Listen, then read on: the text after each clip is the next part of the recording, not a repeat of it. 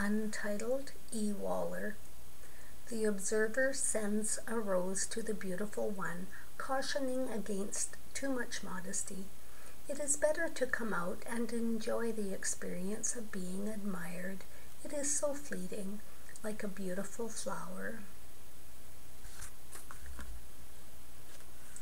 Go, lovely rose, tell her that wastes her time and me, that now she knows when I resemble her to thee, how sweet and fair she seems to be.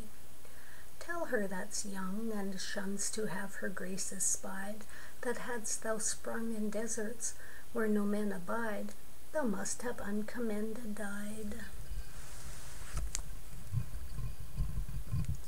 Small is the worth of beauty from the light retired. Bid her come forth, suffer herself to be desired, and not blush so to be admired. Then die that she the common fate of all things rare may read in thee, how small a part of time they share that are so wondrous, sweet,